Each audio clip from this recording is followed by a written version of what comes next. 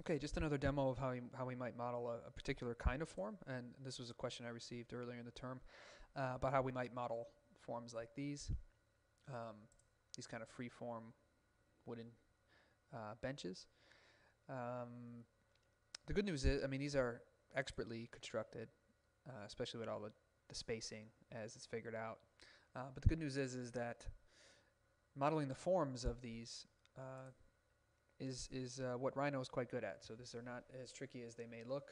Uh, in fact, a lot of the tutorials we already covered, especially in the beginning, um, more or less cover this. It's just that this is a more complex form than a boat. So let's let's walk through this uh, in a quick demo.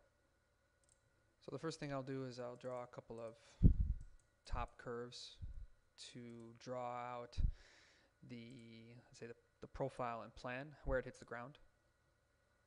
So I'll keep that something similar to what I'm looking at, maybe. So I'll just use a NURBS curve to just draw out something like this.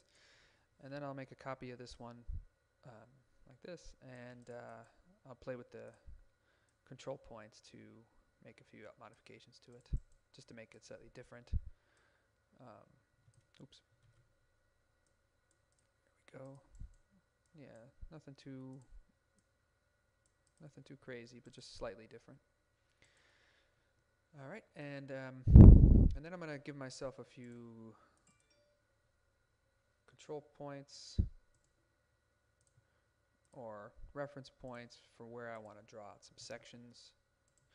And uh, to do that, I'm just going to draw out a construction line like that. Okay.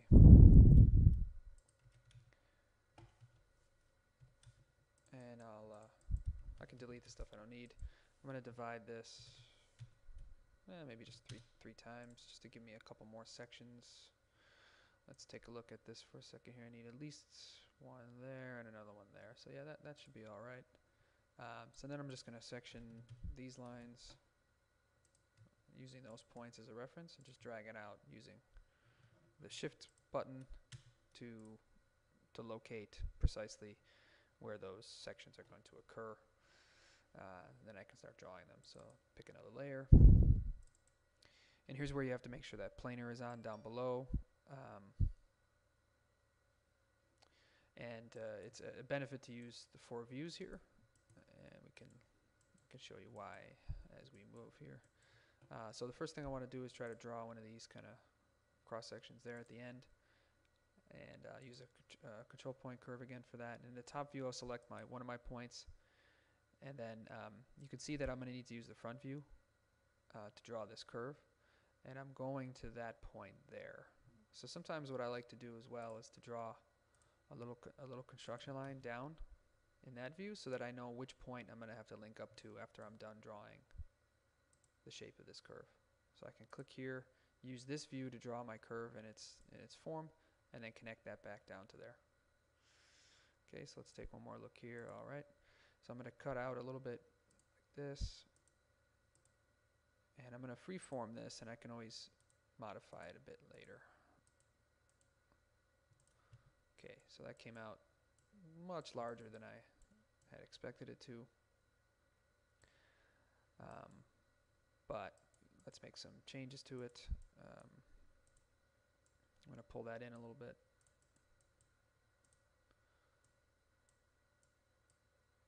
See if I can just, yeah, I'm going to delete that control point and that control point to give me, to scale it a little bit. Um, and I'm going to move this one in. You know, and I'm just eyeballing this. Uh, this is not something that has to be too precise for now. This is just for example. Take these two and move them down a bit like that. And I'm going to just uh, run a fair command on this. Well, that's a little bit too much, so I'm going to change my tolerance to something lower. There we go. Make that nice smooth curvature. So there's one cross section. Uh, so we're going to draw another one in the back here, and we're just going to make that one up, and then a couple in between. All right, in fact, just to make this a little bit faster, what I'll do is I'll just copy this one over to the back, because I think that spacing is still the same. Yep. So a couple sections there, and um, and then what I'll do is I'll make a new one in between these points. So now I'll delete this and draw a new construction line down in this view so I know which one I'm linking up to later. Connect here at the top view. Taking a look at my reference thing here. Okay, so it's going to stay sort of low and then it's going to go way higher and or toward the end there. All right. So I'm going to pull out a point like this. Keep this one kind of low. And then bring it way up. And be careful not to snap to anything because it's going to pull your line back, which you don't want to do.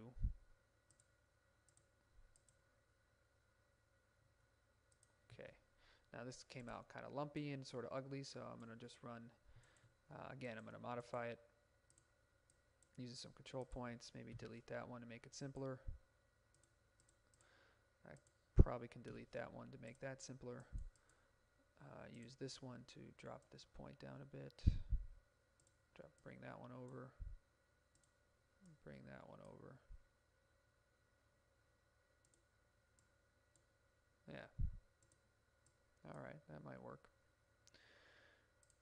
Something like that. So there's one cross section like this, and then uh, again to make this a little quicker, I'm gonna just copy this over here. Let's see what it looks like if I mirror it. Now I know the spacing is not to be quite right here. Uh, hang on a sec. Let me get the right axis. There we go. Delete the old one. Move that in and then um, make another reference down in the other view. Okay, I can look at the control point here and just simply force that to meet up. Meet, meet up. All right, so this uh, is going to give us a pretty crazy form. Let's see what it does. Proportionally, it's very different than the one that we've been looking at, but I think you get the idea of basically just kind of controlling, drawing out the general form of this through some cornered line work frame, and um, we should be able to sweep the rest. Okay, so let's run the sweep2 command. Oops. I am not in. There we go. Sweep two. Okay. First rail, second rail. Select your cross sections in order. And off you go. And there's our surface, which, yeah, again, is um,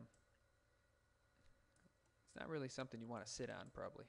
Uh, we're getting some pretty deep valleys in here and stuff, but uh, I think you get the idea. And, you know, if I were to work on this further, I'd probably drop this down a little bit, drop that height to make this transition a bit smoother. But in any case, let's uh, let's work with it. I'm gonna just move all this stuff over so I can carry on with the next steps. I'm gonna make a copy here. Um, this came out pretty pretty decent in terms of its wireframe, um, but in order to model, let's say, uh, or at least get a start on modeling these the the wooden lathes that go across the wooden strips, we're gonna want a little bit more of a probably a regular grid on this. Uh, and again, this is should be taken with a disclaimer. The way I'm going to show you to get started on this is only one version. Uh, there are others, and in fact, to get better spacing on this, um, we may need to try another method. Um, but this just builds a little bit on some of the things we covered earlier. So the first thing I'll do is I'll rebuild this surface, um, paying attention, of course, to where this, where my UNVs begin, and then uh, just seeing how if I make a change to that, what the what the result is. So let's say we're going from 62 to 40 and 11 to 35 in that direction, see what that looks like. And that, that evens it out a bit. Uh, it's, you can see that it's a bit more evenly distributed. Um, and you're to have to decide on whether or not you're, you're happy with this general breakdown.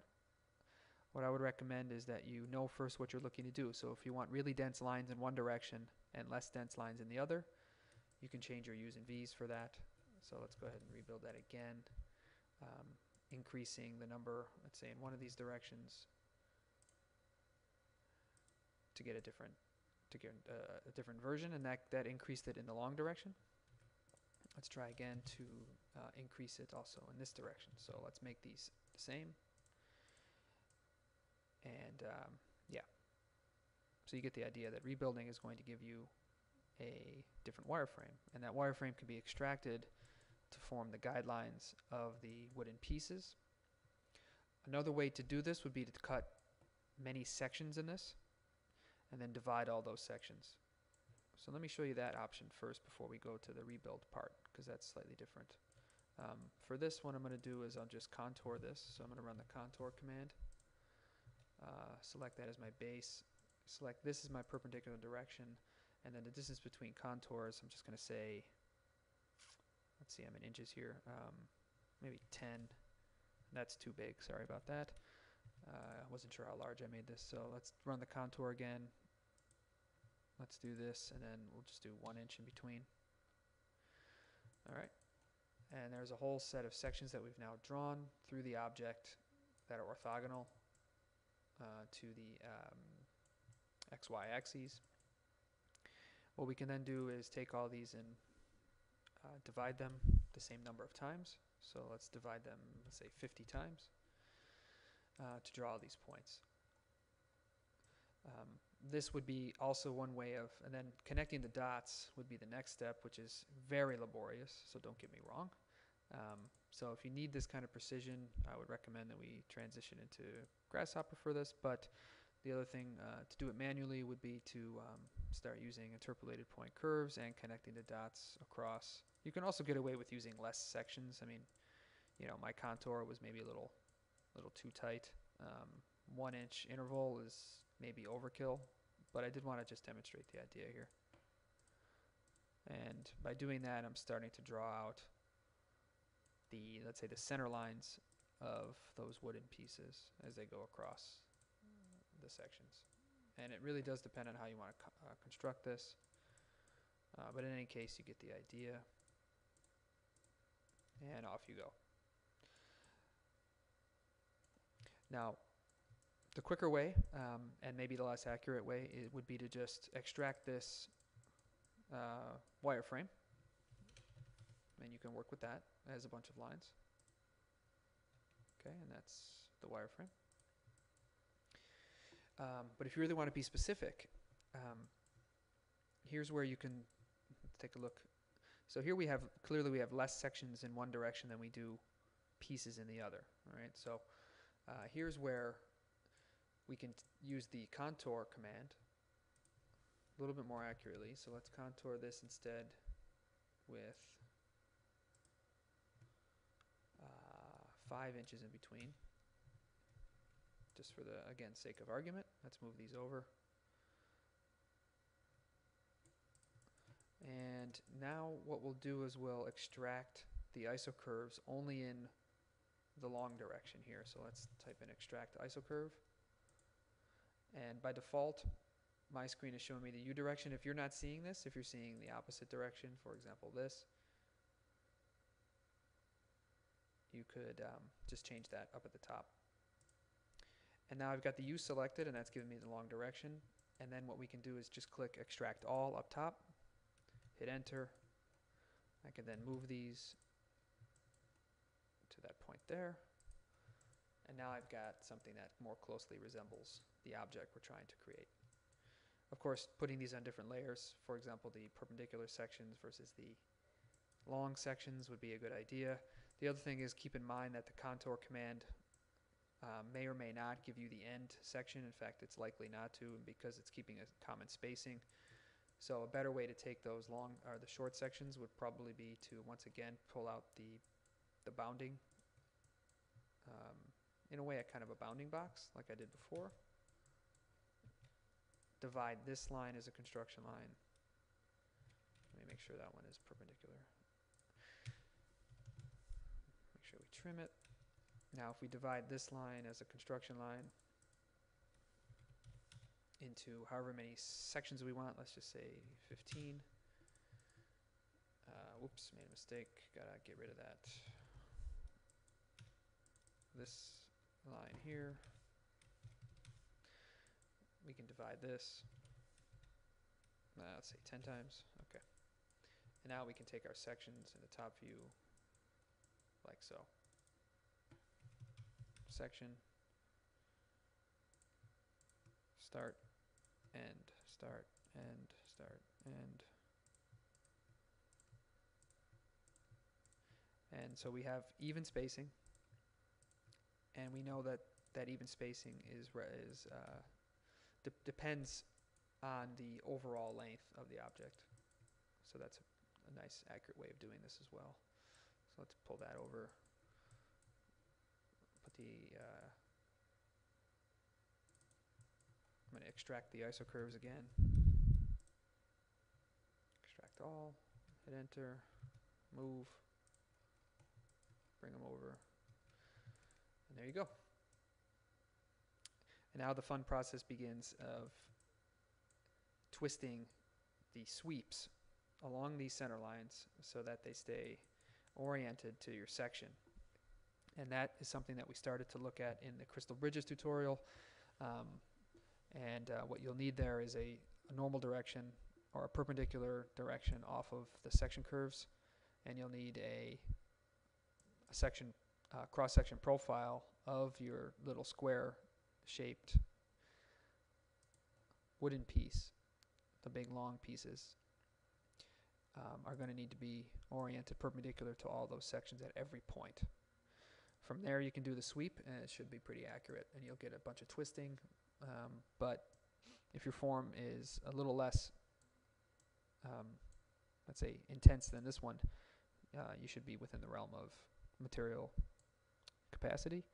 Um, but in any case, that's a different conversation, probably a different exercise. But for now, I just wanted to quickly demonstrate, you know, one more one more time some of the um, earlier skills that we looked at just in the boat modeling, but applying those exact processes to a more complex shape. Okay.